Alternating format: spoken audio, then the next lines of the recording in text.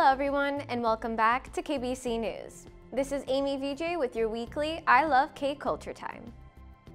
The FIFA World Cup had kicked off on November 20th of 2022 and fans were mesmerized by Jungkook and his performance. This K-pop superstar had entered the stage at Qatar's Al Bayt Stadium as he did the official release of the inspirational FIFA 2022 soundtrack, Dreamers, which was released on Wednesday, November 23rd. The song Dreamers is Jungkook's third solo track of the year.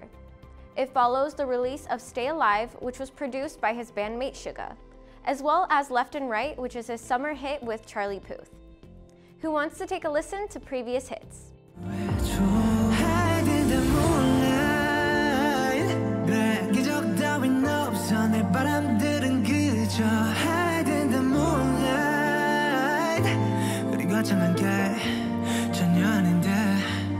한결없는 잠들지 못하는 새벽 끝은 멍든 채 아무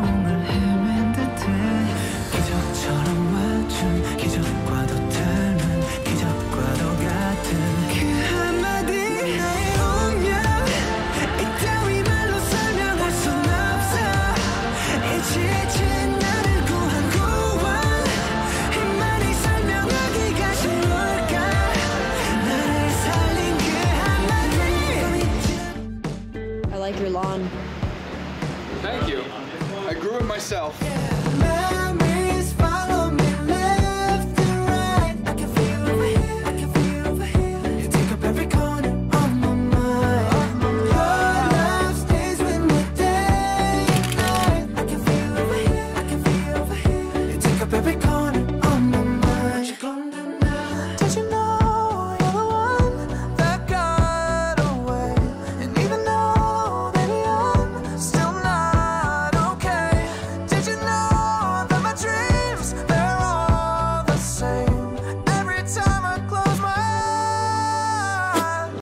Sadly, we are unable to show the official music video of Jungkook's Dreamer or his performance, but it is available to watch on the official FIFA YouTube page. The video begins with Jungkook walking through a mansion made of mostly glass in Qatar. He walks through the market and is joined by fellow dancers as they celebrate.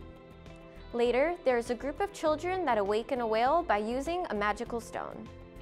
The music video itself shows fans a glimpse of some of the most beautiful places in Qatar.